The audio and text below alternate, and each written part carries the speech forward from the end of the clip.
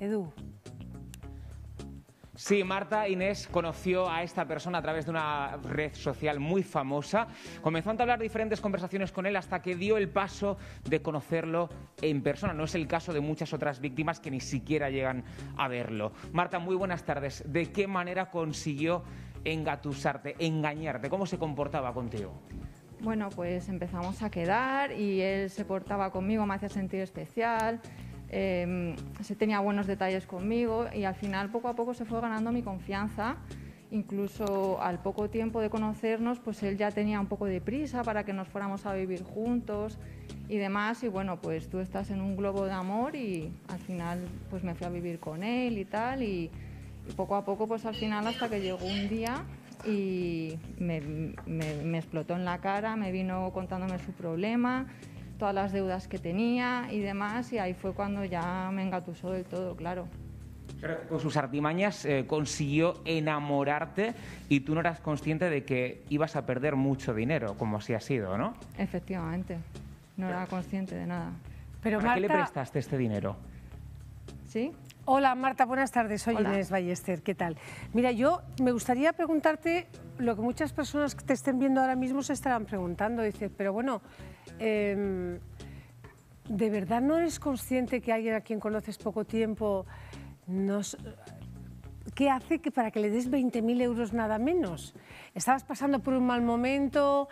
Eh, no, no, para nada, eh, para nada, no, eh, no, no. O sea, yo tengo una vida normal y demás, yo le conocí, eh, pues como puedo conocer a una persona normal, decidimos vivir juntos a los dos meses y al mes y medio de estar viviendo juntos, pues esta persona estaba trabajando, llegó del trabajo y se puso a llorar, me contó todas las deudas que tenía y demás y no, para nada es que yo estuviera pasando un mal momento, vamos, que es que esto podría pasar a cualquier persona realmente. Eso es, lo que quería preguntarte. ¿Tú consideras, ah, supongo que habrás reflexionado mucho sobre este tema, eh, ¿nos podría haber pasado a cualquiera? De verdad que sí. ¿Estamos todos dispuestos a enamorarnos y a ponernos una venda sobre los ojos para no ver lo que está pasando? Hombre, no creo que sea una venda, pero sí que cuando tú mm, estás con una pareja y decides vivir con ella y demás, y aparentemente todo es normal, creo que si tu pareja tiene un problema y realmente quieres ayudarla y puedes ayudarla, como es el caso que yo podía ayudarla,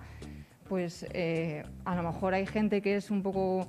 Mm, ¿no? Que, que, tiene menos confianza, pero yo en ese caso, pues a lo mejor sí que abusaron de mi confianza para mm, apretarme un poco más. a él o en, ese, tiempo, o en ese tiempo conociste también su entorno, su familia, sus amigos, que yo creo que también eso ayuda un poco a conocer a, las personas, a su padre, a su hijo, todo, todo. O sea, una estafa muy armada. a ver, yo primero por un lado valoro que Marta dé la cara porque muchas de estas mujeres que a las que estafan en este tipo de cosas sienten vergüenza a la hora de reconocer que alguien les Efectivamente, es que por eso, por eso queríamos estar aquí, porque eh, realmente yo hubo un tiempo en el que me sentía avergonzada porque por lo que vosotras mismos estáis diciendo, mm, cualquiera le pasaría, no, solamente le puede pasar a alguien que no piensa, ¿no? No, esto no es así. esto le puede pasar a cualquier persona.